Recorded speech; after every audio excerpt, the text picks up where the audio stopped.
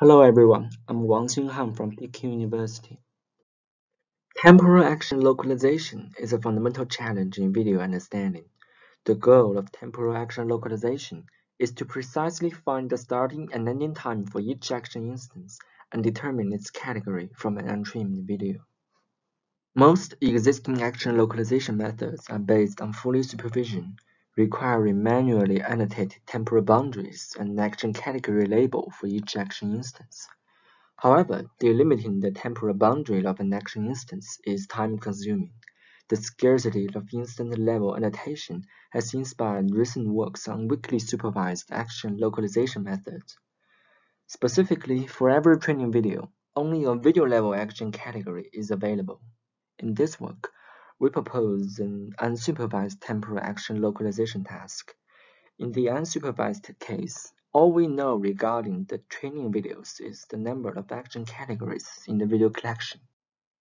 We propose a two-step clustering plus localization iterative procedure to solve unsupervised action localization.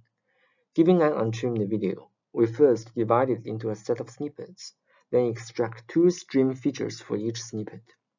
Then we combine the class-agnostic temporal attention and snippet-level features to generate action-related features for each video. To get the video-level pseudo-label for each video, we utilize the spectral clustering algorithm on the training set to obtain a set of clusters. Each video can be assigned with a pseudo-label according to the cluster it belongs to. Then the pseudo-labels are used to train action localization model. Given the feature of an input video, we first use our proposed local global feature aggregation block to obtain an embedding feature. Then the network breaks into two branches, each composed of a convolution layer and a fully connected layer. The outputs of the two branches are the class-agnostic attention weights and the class-specific attention weights respectively. Class-agnostic and class-specific attention weights are combined to predict action class for the video. Actions usually take place in a part of the untrimmed video.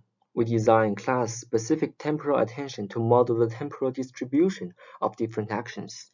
In addition, class-specific temporal attention is used to generate and rank action-specific proposals.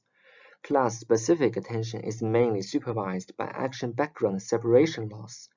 The design of this loss is based on two criteria, namely high inter-video action similarity and high intra-video action background distinctness. Since untrimmed videos usually contain irrelevant backgrounds, we design class-agnostic temporal attention to distinguish background and foreground frames, to pull the feature representation of the same cluster closer and push the video features belonging to different clusters further in the feature space. We design cluster-based triplet loss to train the class-agnostic co-attention model. The clustering step and the localization step are performed iteratively and reinforce each other. Our experiments show this iterative optimization process indeed gradually improves the performance of both steps. We evaluate our method on two large-scale benchmark datasets, THUMOS and ActivityNet.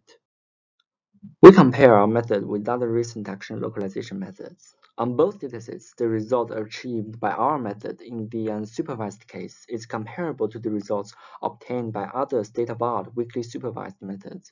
In weakly supervised case, our method outperforms the state-of-art weakly supervised method. To demonstrate the effectiveness of our iterative optimization method, we evaluate the clustering and action localization performance at each iteration. As the number of iterations increases, the performance of clustering is getting better. In addition, we visualize the affinity matrix used for spectral clustering at different iterations. It can be seen that with the help of the class-agnostic temporal attention pooling method, the video representation is more discriminative. Since the quality of the pseudo-labels improves with the number of iterations, our action localization model can learn more precise attention weights so the performance of temporal action localization can be improved by a non-trivial margin.